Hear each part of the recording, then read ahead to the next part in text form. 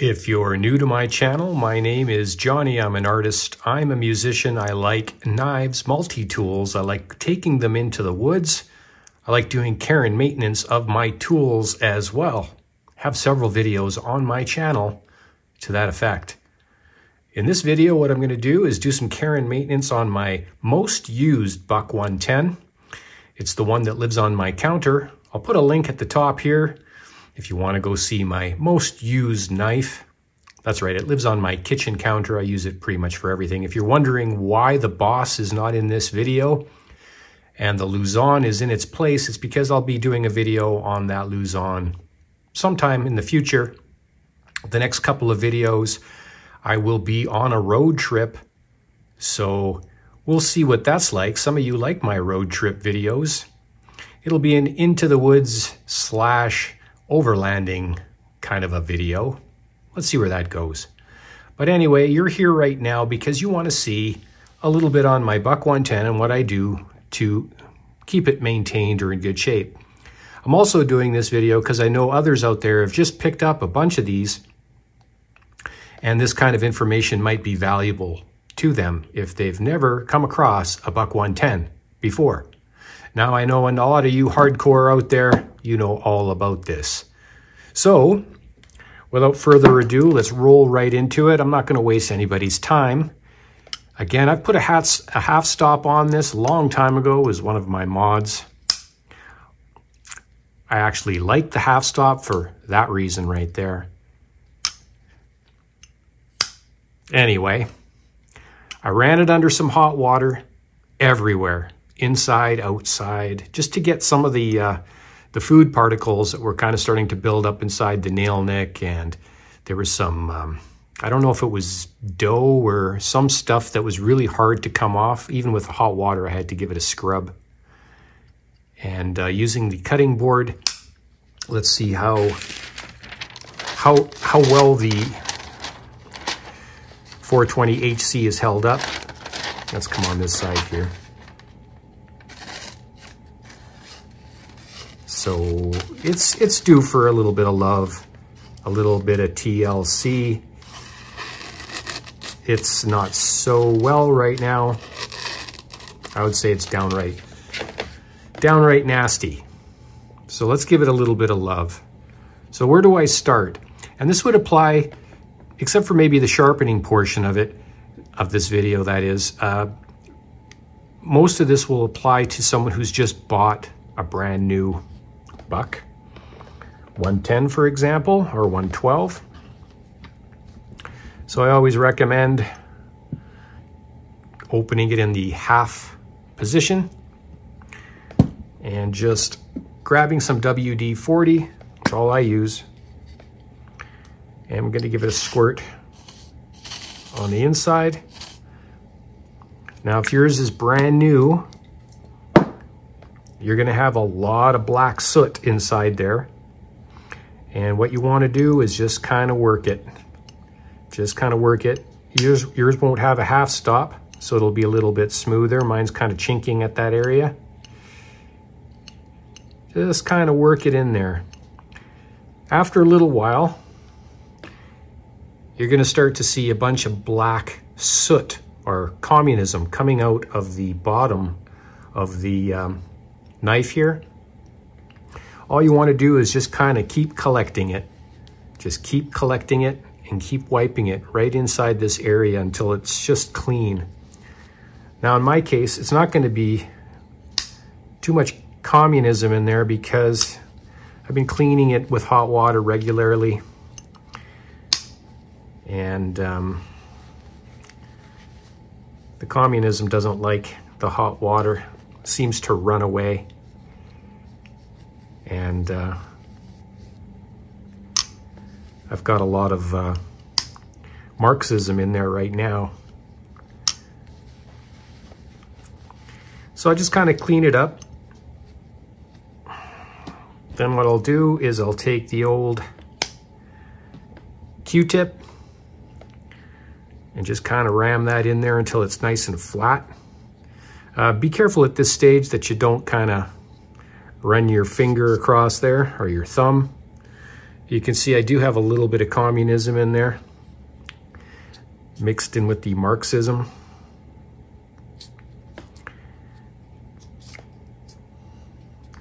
And I'm just running it the entire length and just kind of collecting that nastiness.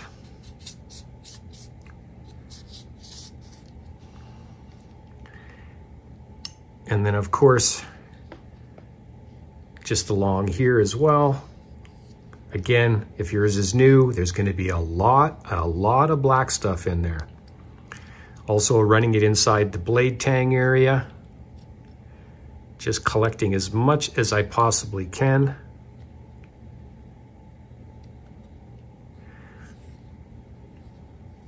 You continue to do this. Now, some of you might have um, an, an air gun, like something like this, but with air.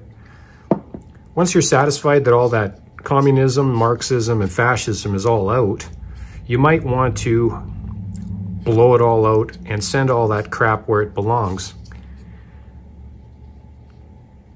So that might be the case. Let's assume that it's all dry and we're satisfied.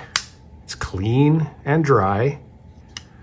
The next thing I do is I take some, just looking for it here, good old fashioned three in one.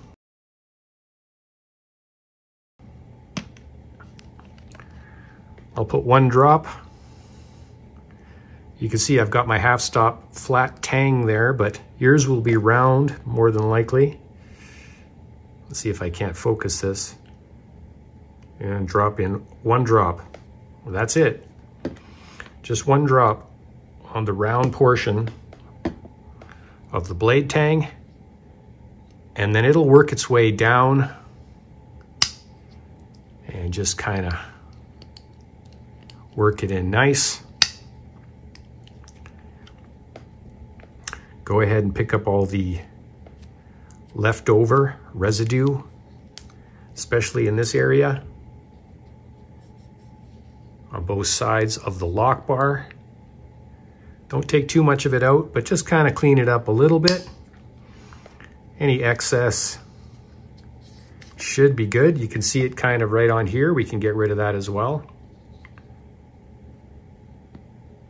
We can use the uh, cloth, whatever. And while I'm at it, I like to take just a little bit a WD on perhaps the corner of this cloth. Something like that, not much. And just go around those nice brass bolsters.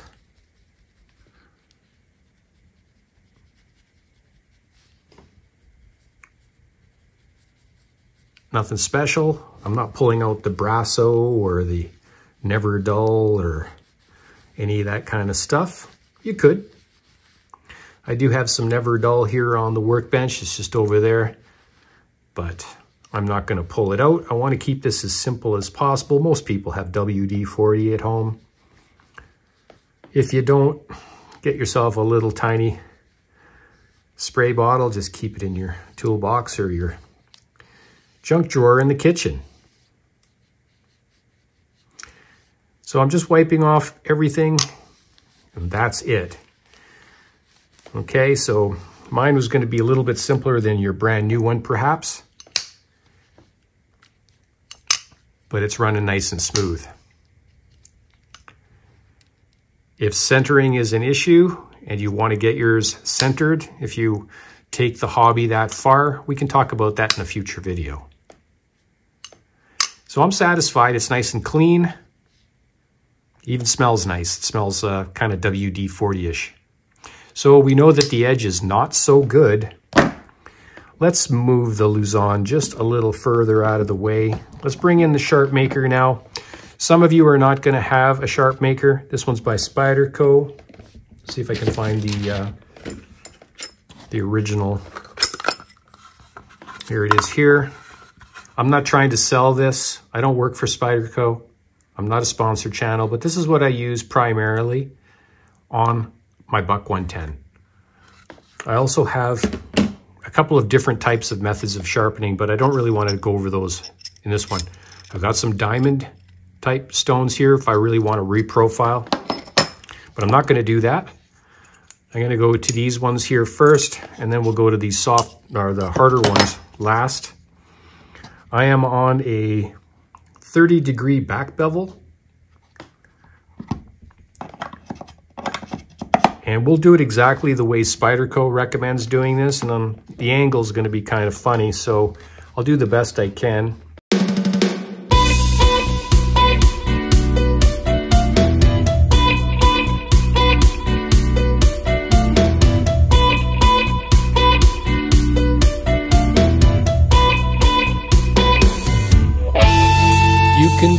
your friends that I'm all to blame. You can live in your circle of lies.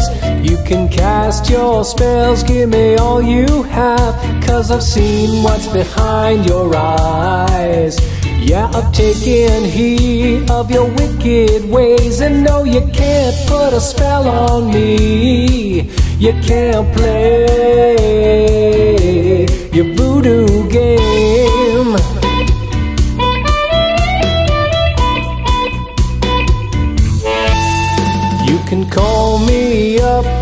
Telephone. You can cry me a river of tears. You can tell me how I was the only one. You've been loving me for so many years. Yeah, I've taken heed of your wicked ways. And no, you can't put a hex on me. You can't play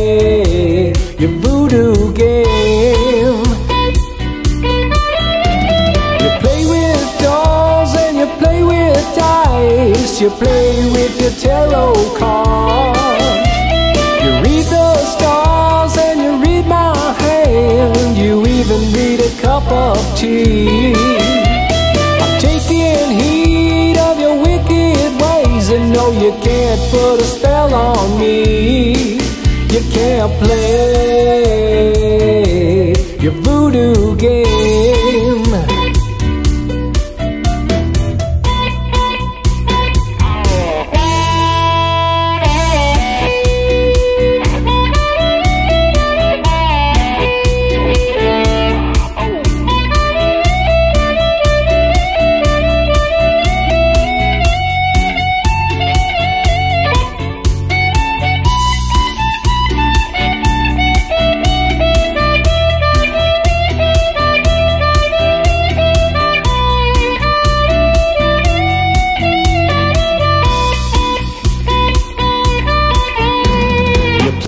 So in conclusion, all we did was give up our uh, our communism and our Marxism and our fascism to a nice clean buck 110 and we put a nice edge on it.